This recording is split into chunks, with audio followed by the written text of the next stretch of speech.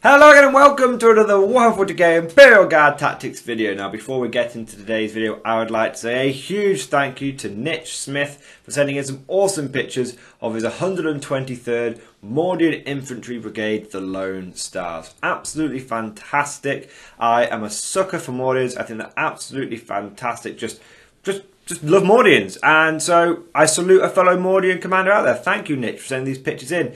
Really love the Victoria miniature you've got on there. And of course, you know, who doesn't like the old uh, female commissar who has huge tracts of land? You guys all get to see that commissar model coming up soon.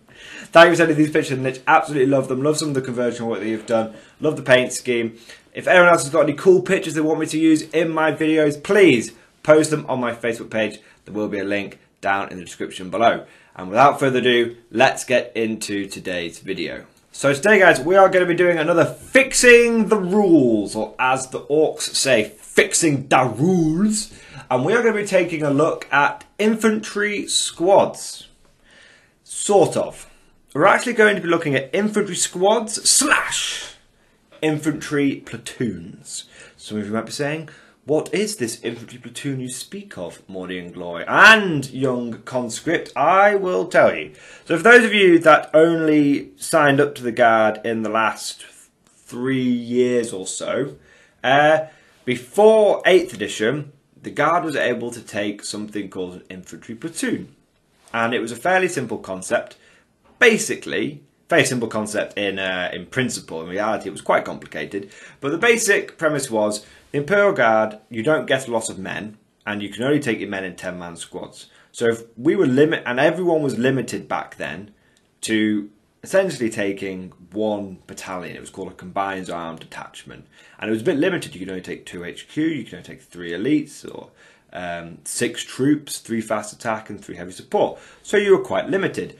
Um, and that's why you have things like Imperial Guard, like squadron rules, because you could only have three heavy support. So what Games Workshop said is, well, you can take a squad of Leman Russes, because individually your Leman Russes aren't very good. And the same thing was true for the infantry platoon. And I highly recommend you go and pick up one of the third to fifth edition codexes and have a look at the structure of the army.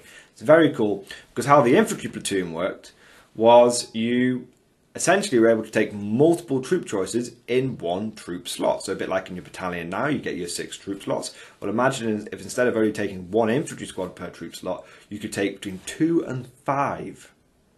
It was very cool. And that was again, well now, you know, and in 8th edition, whilst we lost platoon, which was, you know, a huge part of the flavour of the guards and that made us very unique, it kind of balanced out because we were able to uh, take multiple battalions. Each battalion essentially functioned as a as an extended platoon, almost, considering you could get, you know, as an extended combined arms detachment almost, because you could get an extra HQ and multiple extra elites and all this kind of stuff. So at first it was like, okay, well, we have lost platoons, but we can build our own. We can use battalions to build our own. So it was okay. A lot of us, you know, a lot of veteran guard commanders we lamented the loss of platoons, but were happy that we still had some way of building them. History lesson almost over, because obviously in 9th edition, things have changed. Because in 9th edition, you are now punished for taking multiple detachments. For those of you that are brand new to 40k, brand new to the Guard, uh, one of the biggest changes from 8th to 9th edition, which has had a serious impact on the Guard in, in general, and is probably one of the reasons why we're looking quite low down in the old meta charts, is because um, we went from having this, you know, the more the more detachments you take, the better, to the more detachments you take, the worse. And so Guard, who had almost been made for 8th edition, we were always the guinea pig for an edition. We've been made, you know, oh, you can really get lots and lots of battalions, you can really get lots of command points. Um, that was taken away. That was, you know, they, they pulled out the Uno reverse card on us. The Uno reverse card was slapped down. And so now we are you know, we're punished for taking multiple battalions, which means we're now limited on the troops. So what I'm saying is, guys, we should is that the way you fix this, the way you fix this is you don't ask everyone else in the game to change. You don't say bring back the way you get more command points by taking more detachments. We, if we do that, we're no better than I don't know. We're no better than those whiny chaos boys who are always asking the whole game to change around them. We should say no. We just want to be able to fit in the new rules. You know, the rules have changed, and we want to be able to fit in them. And so the way you do that, the way we fix infantry squads, we fix uh, infantry platoons, and we fix the guard, is we bring back the official platoon system.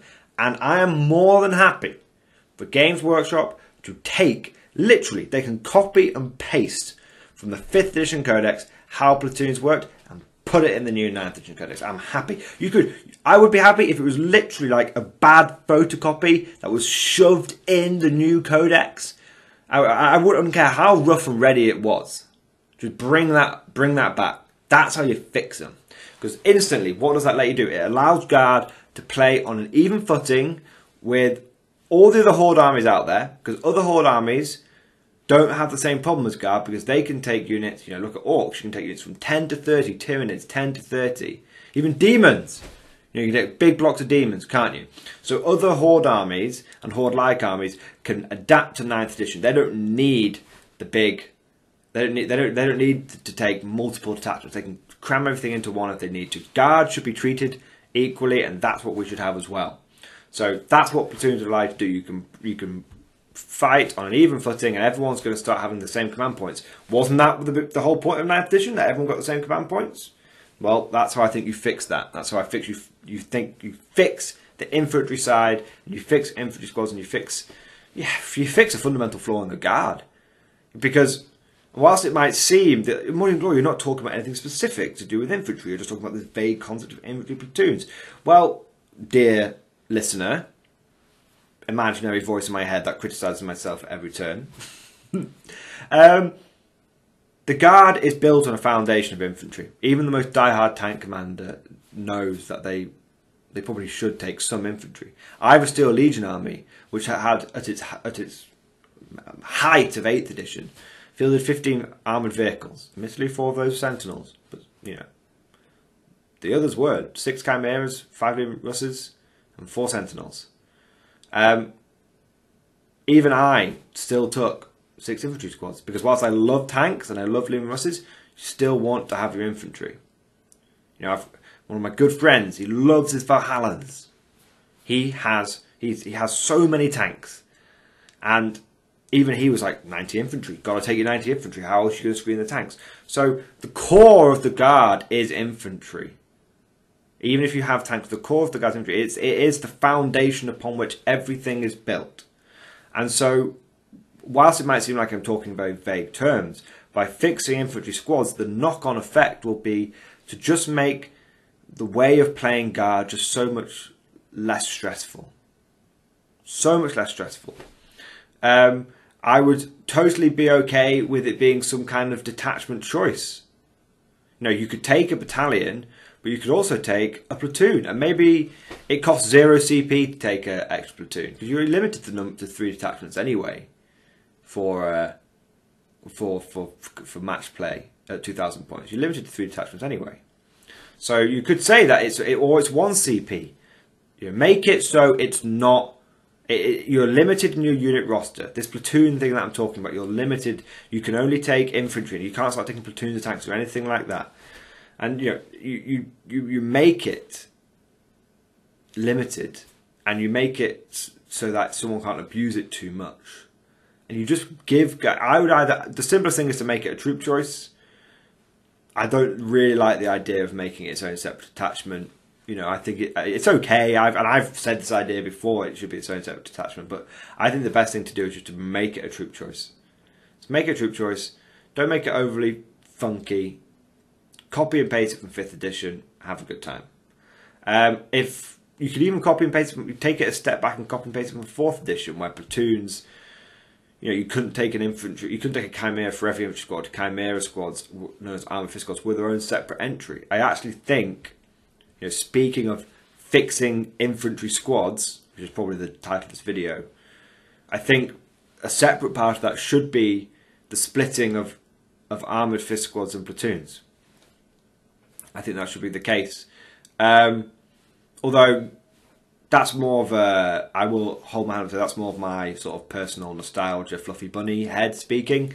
Um, but because you know you do get fully mechanized regiments, and I think again that's you know that's probably adding a layer of complication that's not needed. I you know what? Yeah, it's adding a layer of complication that's not needed. I've convinced myself by arguing with myself uh, that it's it's too too much mess having armored fist squads. Just have you know just have platoons like you did in fifth edition, um, and I think that will fix a lot of things. Now that we've spoken in in broad brush terms about how to fix the infantry. Um, let's look at specifics now. Okay, so the second thing that you want to do to fix infantry squads, the unit entry infantry squads, is it's a simple one, but I just think, and it's one that loads of guard players would, it would just be such a nod of fan service by Games Workshop to the guard community. Sergeants should be able to take lasguns. It's as simple as that. To be totally honest with you, I think the las gun, the las rifle, should be an option for every sort of normal infantry guard uh, unit. You know, platoon commanders, las rifles. Company commanders, las rifles. I think it's just you know you, you can have the option to swap it out for las pistol and chainsword. I just think let's stop being silly now. Every, you know the, the the one thing the Imperium has more of is practically lasguns over people. you know, they, they, their plan to beat the Tyranids is put a lasgun in every person's hand. So it's quite it's quite simple, guys. I just think stop mucking around and making sergeants have to take las pistol and chainsword. Just let them take lasguns. Can we please just stop with the messing around? Yeah, it's just just silly. I think it allows. So why? So rather than saying this from a feeling point of view, let's look at it logically, right? Um, the number one reason I would say give sergeants lasguns eh, is from from a gameplay point of view is it speeds up the game. When you have a sergeant with a las pistol and chainsword and nine guys with lasguns, what that means is you have to roll the nine guys lasguns and then roll the las pistol and chainsword separately. Just slows the game down. Just slows the game down. If you're in rapid fire range with your las guns and you've got you've literally yeah you can you can just add the you can just add the dice in I guess but you've still got to explain to your opponent you know, especially if you're in a competitive setting you've got to explain to your opponent okay so this is you know two shots per guy and then so you, do those dice and go oh and the sergeant will be you know throwing a frag grenade. The sergeant will be using his las pistol. Okay. And I can't tell you, I know it's weird, but I can't tell you the number of times when I've had someone say to me, "Oh, it's the las pistol in range," or "Oh yeah, uh, uh what's because when you're in a tournament, you're often thinking of the next move ahead, so you're not uh, you you sort of ninety percent paying attention to what your opponent's doing. But when he starts saying when he starts saying something distinctive, you're like, "Oh, sorry, what's that?" I've had loads of people say, "Oh, sorry, what's the sergeant doing?" What's the sergeant doing? And I have to go. He's shooting his las pistol, and then I have to, you know, but I have to explain that, and I have, to, I have. It's just so much easier if I can just go. That infantry squad, ten lasguns, all in rapid fire range shooting at that squad. My opponent instantly knows, yeah, okay. Now it might only seem like a small thing. If you're running a pure infantry guard army like me, you're turning it with 18 infantry squads, having to say that every single time, having to say that the first nine times before your opponent goes, oh, and the las pistol and all this kind of thing. It's an extra weapon you have to measure range for. It's just stupid. Just give everyone a las gun. Make it just easier. It makes it makes sense narratively, which is important because fixing the rules rules should reflect narrative as best they can, and it also speeds up competitive gameplay and gameplay in general, and it streamlines and it simplifies, and you know. Most Space units these days are being produced with everyone gets the same gun. Guard should should have the option to do the same thing. Not everyone gets a sniper rifle or plasma gun, but everyone gets a las gun. Just makes sense to me. But what do I do? I only work here. So that's one specific thing that I'd like to see change. Second thing is um, I'd like to see I would like to see the ability for guardsmen to be able to be merged together again uh, in at the beginning of the game. So previously you were able to take from the same platoon three or four squads of guardsmen and put them all together. I think that should be brought back for sure. I think that should be brought back, no doubt uh, again, it just made it made things a lot quicker because you instead of having to operate four separate individual units and move four separate individual units, you moved one blob of men. It was just much quicker and it just made things much faster and just streamlined and it was simpler. This big block of 40 dudes is all the same.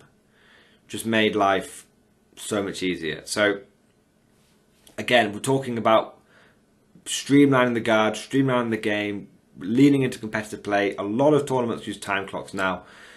You know, and and if competitive guard at the moment is, and well, in my opinion, it has been for a while now, is the pure infantry side of things.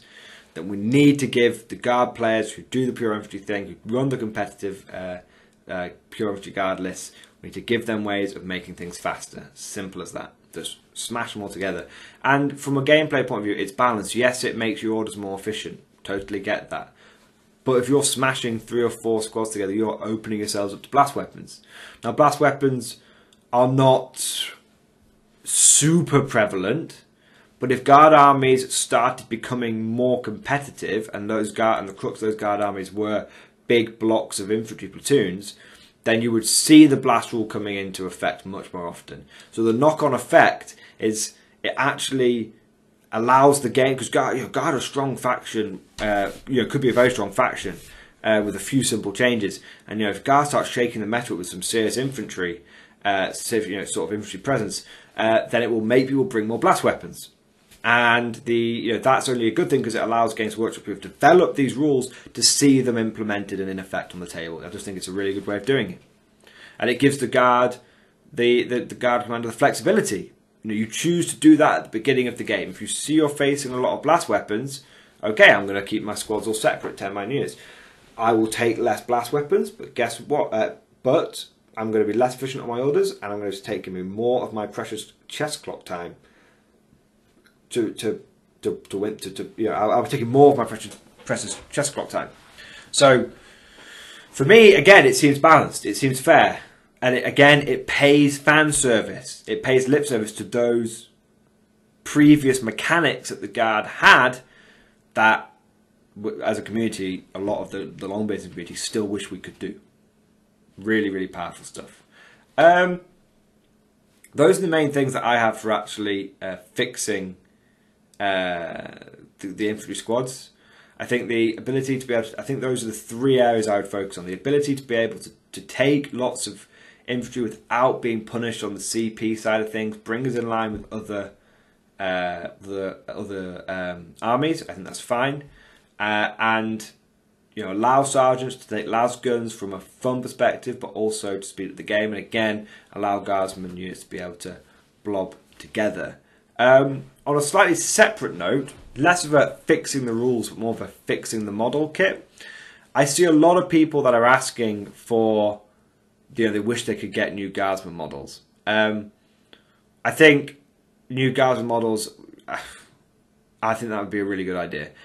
I, to be honest, and this is being me totally selfish, guys. I'm actually not that keen on new guardsman models coming out for a couple of reasons, uh, and I only touched on this lightly because it's not really the context of this video. Uh, number one, I have lots and lots of the old ones, and I find that the old ones are really, really good like I'd almost call it like a good skeleton. You buy your Cadian Guardsman, but you know, a head swap here, a, a, simple head swap, completely makes those models just look twenty times better. Really, really good. So um, I think there are really, I, I kind of think there's a lot of industries out there which are sort of built up around, um, built up around uh, being able to do the head swaps and stuff. And I think that those are really good companies. another thing I would say is I'd be concerned that Games Workshop would, um, to be quite frankly, bugger it up. Uh, a lot of the new kits they've been producing at the moment, guys, are monopose.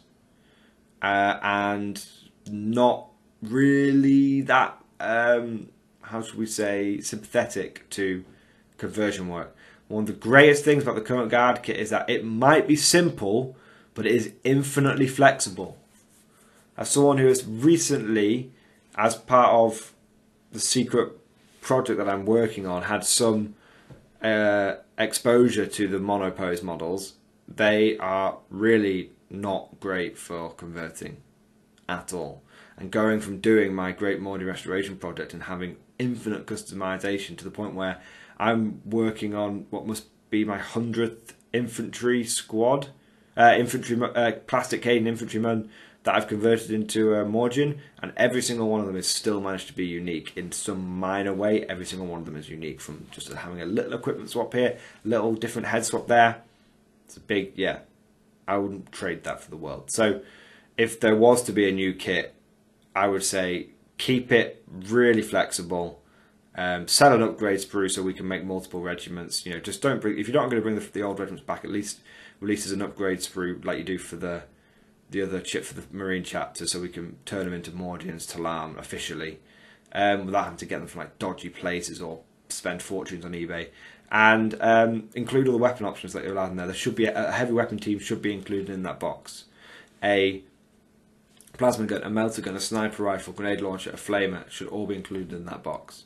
A power sword should be included in that box. Chainsword, las pistol, plasma pistol should all be included in that one box.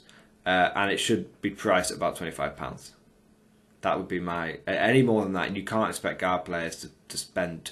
You can't ask them to spend thirty pounds on ten plastic models. So there we go. That's me kind of yeah fixing the rules, but also fixing the real life situation on the old humble infantry squad. I'm sure I've missed loads of different ones, but those are kind of the three main things I'd like to see fixed. Um, and also the way I'd like to see them fixed in real life as well if we're going to have new kits. Let me know what you guys think down in the comment section below. I purposely haven't talked about things like special platoon characters here, and I purposely haven't talked about things like conscripts because I do see them as like a separate entity here. I know you guys love my conscript videos, so there will be a fixing the rules conscript video coming up at some point. But I've done a few conscript videos in the last few months, so I'll probably let it settle down before I release that one. Unless I get an absolute outpouring in the comment section, Mordian Glory, more conscript videos, please. If I get that, then of course I will I will obey obey the whim of the community and you can have your conscript video early. Let me know what you guys think down in the comment section below. Thank you for watching and of course I'll see you guys next time.